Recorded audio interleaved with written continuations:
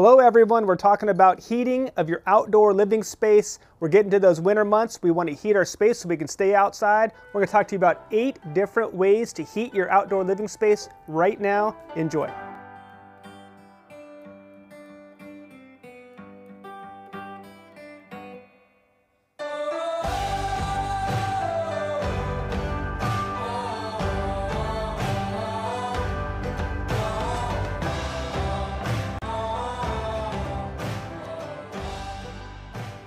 All right, number one, what do you think it is?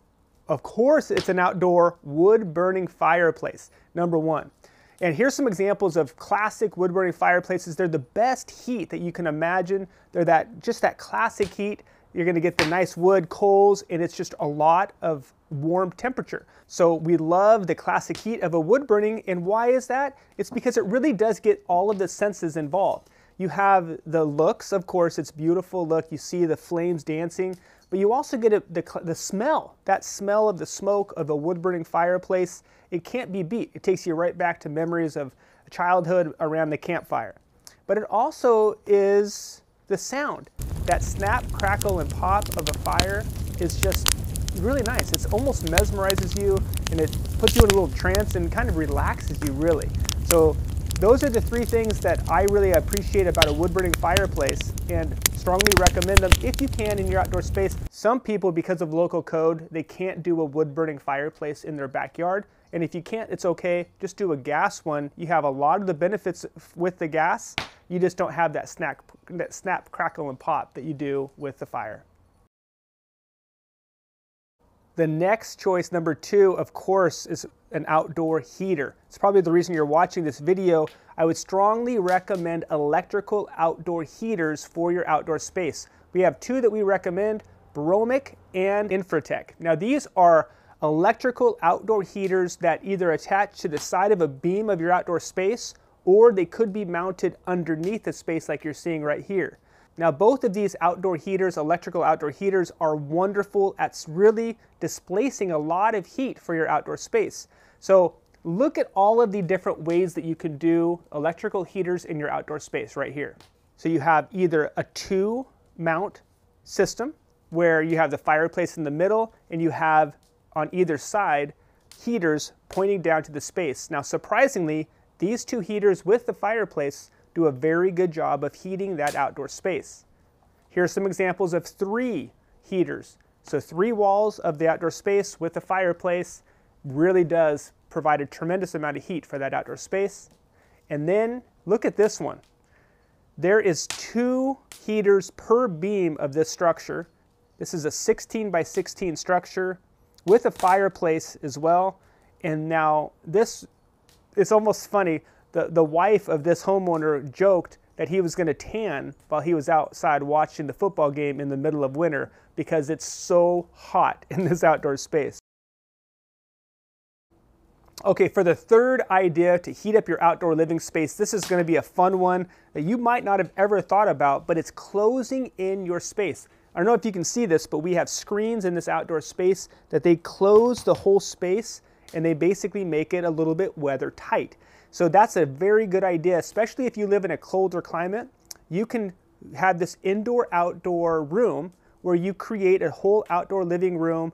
For the summer months, they're all open, and then you just close it on down for the winter months. Now, I just want to say this with these screens, they you obviously have to open them up and then all that cold air comes in. But you could even do a, com a completely enclosed room where you have a door, you can screen in the rest of the space, and it's that real, true outdoor, indoor, outdoor living vibe. A lot of people call that a man cave or a she shed, but that's the thought, is you completely enclose the outdoor space. It's a nice destination out, but now you can really keep the heat in that outdoor room because it's all closed off to the elements. Another thing about these outdoor rooms is you really are at nature, at one with nature, I should say, the, a simple either flip of the switch and all of a sudden you're back into open air. These screens really do allow you to be at one with nature. They're called the E-Zip Shade Solution and they're basically just a woven mesh, fabric mesh, very strong though, and they, they prevent the weather, so like the wind from entering, the rain from entering, and they do a great job of keeping the heat in. So, but I love these because they also let you see out. So you're, you're still kind of at one with nature, but you're in a heated outdoor room. So really consider this, but I also want to say this, that if you do have more of a enclosed area, the nice thing if you were to look off camera, we're in a, a kind of a covered area with two solid walls. We have three little windows here that we could then close up with shutters or any other way that you want to do it. But you could create an indoor-outdoor environment with a couple of screens and then two walls of the structure. And all of a sudden you have that very nice area. Even in a very cold climate, you could be outside during that time. All right, so the number four way to heat your outdoor living space, even during the coldest winters, is a fire pit. Now you're thinking, of course, what is, just a second, that's just like a fireplace, but it is a lot different than a fireplace. A fire pit usually, of course, is in a central area. So you can imagine a, a fire pit in the center of the area. Now that really is centralizing the heat of that outdoor living space. And you might have seen a lot of these on Pinterest. They're really popular, in fact, on Pinterest and on houzz.com, where you see a fire pit underneath a structure. Now, really think about this. I guess the negative that I would say about a fire pit in an outdoor structure is it really limits you to your room.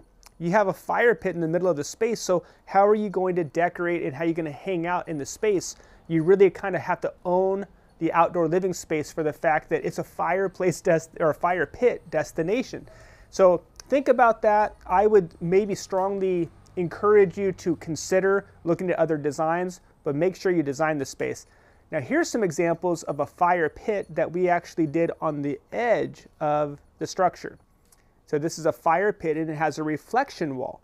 So a, a typical fire pit, the heat goes up, and then it also goes out. So we just try to reflect that heat right back into the space. And this did a very nice job of heating up that outdoor structure for the homeowner, even during the winter. Another fun way to heat up an outdoor structure or an outdoor living space is a hot tub, surprisingly. Now, a lot of people, they, they think when they get a hot tub, they're gonna cover the hot tub. I always encourage to not cover the hot tub. I shouldn't say always, but a lot of times because when you put a hot tub under a structure, you're kind of owning the structure, just like we just talked about with the fire pits. You're owning that space being dedicated to a, a, hot tub destination. If you do choose to do a hot tub in a covered structure, the cool thing about that is you do have some ability to kind of warm up the space due to the thermals that are coming right out of that hot tub. So you have the heat that's rising, it's going to be captured in the, the covered structure, and of course you're probably going to be in the hot tub you can even put a TV, you can have a fireplace, you can have a lot of outdoor living amenities right next to you, but you're sitting in the hot tub nice and warm and cozy. And you're also heating up the outdoor space. So if somebody is outside enjoying the area without being in the hot tub, they're going to be warmer because of that hot tub. Something to think about. If you did choose this, I would recommend doing a larger structure. I would recommend doing a two room structure, in fact, and have a dedicated area of that structure for your hot tub destination. Okay, the next thing you can do to heat up your outdoor living space is a tower propane heater. Now, what are the benefits of a tower propane heater? Well, it gets the heat up and then it broadcasts it out very nice and it's freeform because it's propane. So it's really, and it's also movable. So you can move it to whatever area you need to move it to. So think about this. It's an inexpensive, when you're comparing it to all the other ones, this is an inexpensive way to really have a nice, uh, flexible, heated area for your outdoor space. Okay, so the next way to heat up your outdoor living space would be a gas heater attached to your structure.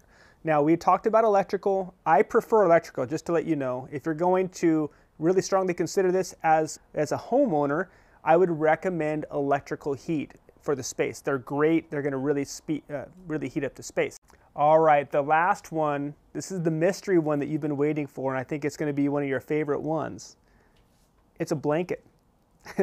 you laugh at that, but you will be shocked at even restaurants that are in cold climates, they bring out blankets for their clients. And, and that's something to think about. No matter how much heat you have, a blanket is still going to give you that added little bit of comfort that you want and that little bit of heat that you just you just want to cuddle up and enjoy that outdoor space enjoy the friends, and you're just all bundled up in your blankets. Now, we lots of different blankets you can recommend. You can do a full like like thick blanket, or you could have some of the thermal blankets that are lighter, that are very easy to pack and to be able to offer to a guest that's out there. Even in the dead of winter, you can have these blankets available, heat up the space, do the barbecue, do the outdoor fireplace, maybe the TV with the football game on, and you're hanging out enjoying that time together. Even in the winter, blankets are not only fun for warming, they're fun for just decorative purposes. They're they're there, they're fun. They really are fun. So even in the summer months, and we have we live in a very um, mild climate. So even in the summer months, sometimes even on a hot night, people will want to bundle up with their blanket. So they're just nice to have available. So have a little storage area. Again, they're decorative. It's just nice to have being outdoors, extending those evening hours, even if people are a little cold, bundle up with a blanket, and you really are truly good to go for that evening. All right, so we just taught you eight ways to heat up your outdoor space. I appreciate you watching this, but I want to show you if you haven't gotten the outdoor space yet, think about what are the different ways to build an outdoor covered structure area. Really important for you to think about. And here's a whole video on that. Watch that right now and then think about how to heat up the space.